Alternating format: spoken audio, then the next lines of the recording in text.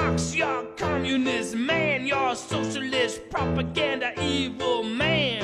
You don't know the way things should be. You say bad ideas and people listen to